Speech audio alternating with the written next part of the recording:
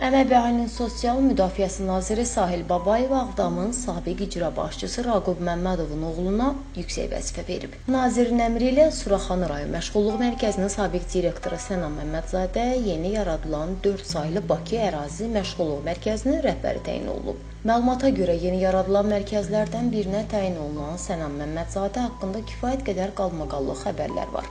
Diqqət çəkən məqam budur ki, Sənan Məmmədzadənin adı ötən ay Bakıda qoçuluq edərək təhqir və təhdid yağdıran AA seriyalı avtomobillə də əlaqəli hallanır.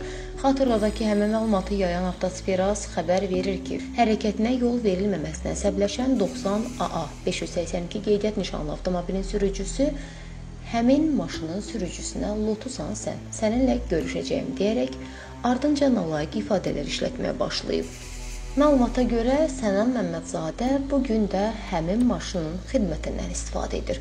Düzdür, həmin maşını şəxsən özü deyil, başqası idarə edir, amma onun bu maşınla mərkəzə işə gəlib getdiyi haqqında kifayət qədər dəlillər var.